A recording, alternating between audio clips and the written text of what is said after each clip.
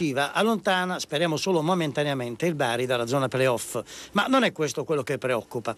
Preoccupa invece la circostanza che il Bari, anche ad Empoli, è venuto meno nella ripresa in modo inspiegabile sul piano fisico.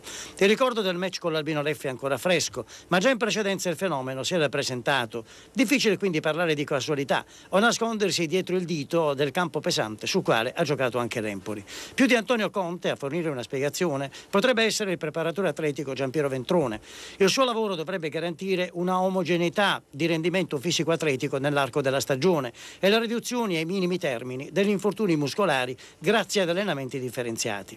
Non sappiamo cosa riserverà il futuro, ma di fatto i due progetti non si stanno realizzando. Ieri sera Salvatore Masiello è uscito per un ennesimo problema alla coscia.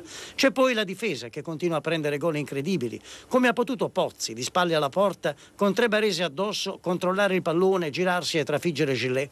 Che fine ha fatto la difesa ermetica impermeabile di inizio campionato? Sono questi i temi sul tappeto, insieme alla constatazione che se Camatà non è in giornata, il Bari perde il 50% della sua capacità offensiva.